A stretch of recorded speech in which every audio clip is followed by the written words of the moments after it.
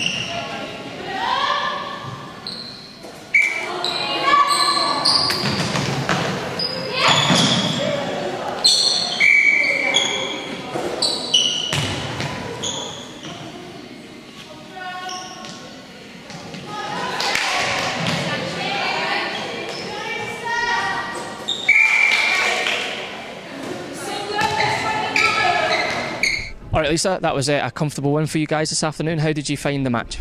Yeah, it was quite good. I was really proud of the girls. Um, very consistent game, all four quarters. Uh, obviously, you lost your first game last week, so happy to bounce back with a, a win today. Yeah, very good. We started off nice last week, but ended up losing by five. So this is a good confidence boost.